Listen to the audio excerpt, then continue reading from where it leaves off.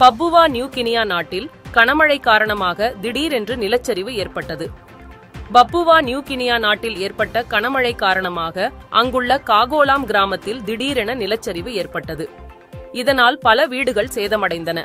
நேற்று அதிகாலை மூன்று மணியளவில் நிலச்சரிவு ஏற்பட்டதால் வீட்டில் தூங்கிக் கொண்டிருந்த பலர் மண்ணில் புதையுண்டனர்.